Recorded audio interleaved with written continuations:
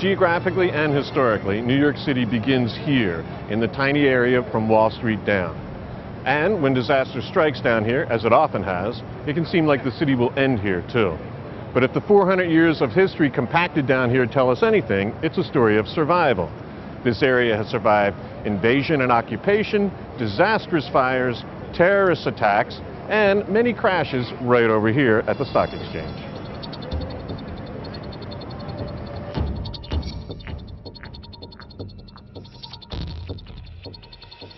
The first seeds of the metropolis were planted by the Dutch in the 1620s around Bowling Green.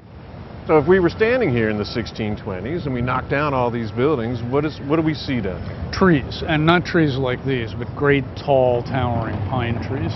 When the fort was down here, there was a parade ground where soldiers practiced maneuvers. That very quickly turned into a market space where farmers in outlying districts brought their produce to sell. It became a famous place for prostitutes to haunt in the evening, and ever since then it's been some kind of public space. So this is Pearl Street, Mhm. and was that on the water? It was the waterfront, more or less. Wow. It's called Pearl Street because of all the mother of pearl from the oysters that used to be in the East River. From the start, New Amsterdam was a party town, known for its many taverns. One of the most famous taverns stood along the Pearl Street waterfront. This little outline, if you can see it, is the original Stadthuis, the first city hall, which was also a tavern, which was also a jail. So you could, in one day, go from sitting on a court case to a drunken debauch to jail without ever leaving, without ever leaving this little place where we're standing. That same year, a few blocks north, the Dutch built a defensive wall across the island. It was a simple earth and timber construction with a dirt path running alongside.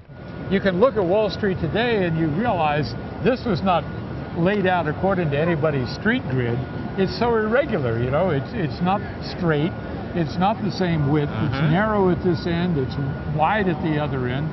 Um, it's just a place where people walked. And the, the marvelous thing is that all these people walking here today are walking in the footsteps of the Dutch burghers of New Amsterdam. Ah. The wall came down in 1699, a few years after the British seized New Amsterdam and renamed it New York. Come on inside Federal Hall. Work began on a new city hall at the corner of Wall and Nassau Streets. That building later became Federal Hall, where George Washington was sworn in as president in 1789. Beautiful. He was inaugurated in a building that had previously been the New York City Hall. Oh, okay. It was then called Federal Hall. So what happened to that building? Well, the first Capitol of the United States was sold for scrap. so they tore it down. They got $425 for the window glass and the brick and whatever could be recycled out of that building. But they saved this. They saved this. This is a piece of sandstone. In the 1700s, merchants conducted trades outdoors on Wall Street. In 1790, they formed a tontine or investment group and built the Tontine Coffee House at the northwest corner of Wall and Water Streets. The market began a long history of ups and downs right away. And almost immediately in the early 1790s, they began the kind of speculation, in this case in government securities, that we are so familiar with, painfully familiar with today.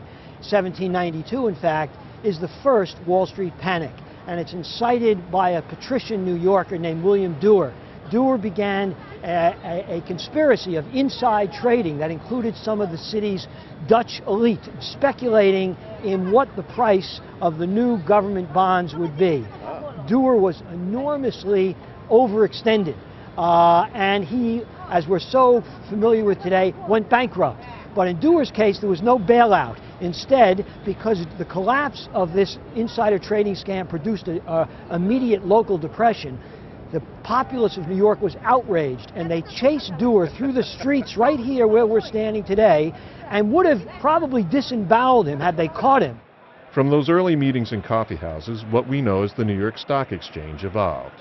A long string of crises, including collapses in 1873 and 1893, preceded the Great Crash of 1929. Stock market crashes were far from the only calamities Lowest Manhattan has survived. In the 17 and 1800s, enormous fires destroyed large sections of the area, including the original Trinity Church in 1776. At the time the British had occupied the city and Washington's troops were encamped up on Harlem Heights, and the fire grabbed the whole church, went all the way up the steeple in this huge column of flame that Washington's troops saw from Harlem Heights, and then it crashed to the ground. It was really a kind of eerie premonition of 2001. The financial district came under terrorist attack well before September 11, 2001. On September 16, 1920, a horse-drawn cart parked here was loaded with TNT and lead sash weights. It exploded in the midst of a lunchtime crowd, killing 30 instantly and maiming another couple of hundred. You can still see the marks of the shrapnel here on the wall of the J.P. Morgan building. Anarchists were suspected, but no one was ever prosecuted. Another lunchtime bomb ripped through the Fraunces Tavern in 1975, killing four and injuring 50 others the FALN, a Puerto Rican separatist group, claimed responsibility. And the first precinct has always been down here. Yes. Lower Manhattan is also where the history of law enforcement in the city begins. Equipment used by the Old Dutch rattle watch is on display at the New York City Police Museum on Old Slip. Mike, what are these contraptions we're looking at? These are actually wooden rattles, and this is a very early part of uh, police equipment this is how they would signal one another in case of a problem. They work very similar to a New Year's Eve noisemaker. They use these because of a very important reason. The police whistle hadn't been invented yet. And who was the watch? What were there was doing? basically eight men hired to do patrol at night, and this started in 1658. And they went around at night, they went around with their rattle, they went around with a lantern, looking for fire. They're looking for crime. As a matter of fact, the police department and the fire department had the same parent in the Rattle Watch of 1658. We think of lowest Manhattan as all business and finance, but it's actually had a long history as a residential area as well. In fact, Greenwich and Washington streets west of Trinity Church were once lined with tenements and storefronts like these.